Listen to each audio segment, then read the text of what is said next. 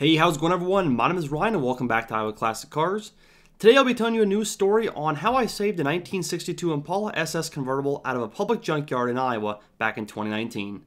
With that being said, let's get started.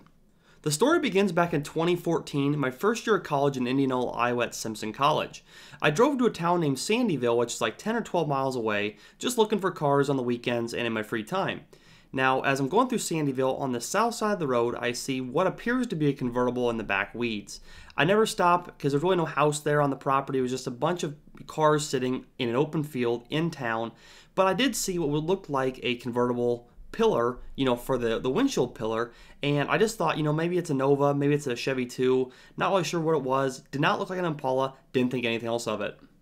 Fast forward to August of 2019, I actually stopped at Doug's Four Wheelers in Pella, Iowa, which is actually featured on this channel as well, the big junkyard down in Pella. And the first car I see sitting right at the main entrance is this 1962 Impala. Now I walk in right away because I know damn well a 58 to 64 GM convertible is worth pretty good money just in parts and or for building purposes. So I stop in, I ask the guy what he wants for it, and we settle on a price. This guy literally had this car for less than a day. What he told me was he bought four cars from this uh, the estate of this lady, and it was all 62 Impalas. There was one convertible, one two-door hardtop, and then two four doors.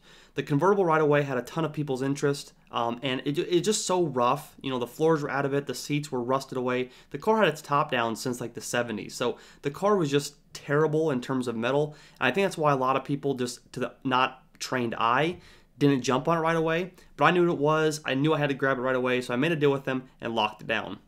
I had hundreds of people calling me from Doug because he was giving my information to these guys, you know, looking for parts or whatnot since he had sold me the car. And basically, I told them, you know, thanks for interest, you guys, but I'm not parting this car out. It's too rare. It is the second year of the SS package, and in a convertible, you know, no doubt, it's even more rare. So, brought the car home really had plans just to clean it up and flip it. I never really meant to keep it in the first place. Uh, I wanted someone to actually get the car who could fix it. And my buddy, who I've been talking to for like five or six years about 59, says, "Hey man, I've always wanted a 62. Um, you know, you have a 62 SS. It's a convertible, kind of everything I want in a car. I know it's rough. I can do all the metalwork myself. What do you say we work out a deal?" So I was all for it, you know, and, and we went back and forth a little bit. But he had a 59 hardtop that I've been wanting to get for a while now. I always just kind of kept it in the back of my mind. Just, you know, maybe someday we could trade for, for a car, you know, for that car. So we did the deal, and in I think October 2019, he actually brought the car to me.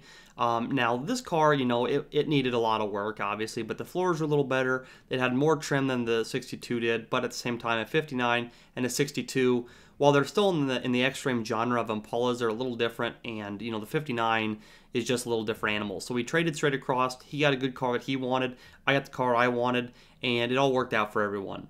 So the really cool thing about this car was that it was a 62 SS and it was a convertible. So 62 was the first year of buckets in a Chevrolet. You could get bucket seats in 59 through 61 in Pontiac Oldsmobile, Buick, and Cadillac, but it was not until 1962 that you could get bucket seats. So this car is a second year SS because 1961 was the first year of the SS. It was a second year SS car. It was a bucket seat car, and it was a manual car. So pretty neat in terms of the options it had. And at one time too, it actually did have a Autronic eye. Um, I did notice that in the dash because there was two holes, factory holes that were stamped right where the Autronic eye would sit even though it wasn't there anymore, it was cool that it did come with that from the factory.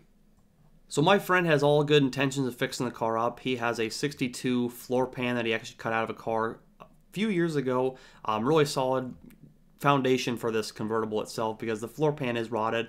The frame is actually broken in the back half as, you know, why the bumper is sagging.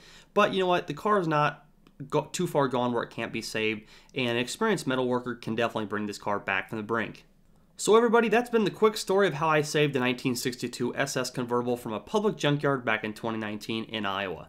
If you guys do want to see a follow-up video with this when the car is in the process of restoration, please leave a comment below saying so, and I'll try to get in contact with my friend regarding that and see if we can make something happen in that regards. Also, if you did enjoy the video, please make sure to give it a like rating, as well as subscribe for more videos like this on a daily basis. Thank you all for watching. My name is Ryan with Iowa Classic Cars. Until next time, thanks for watching.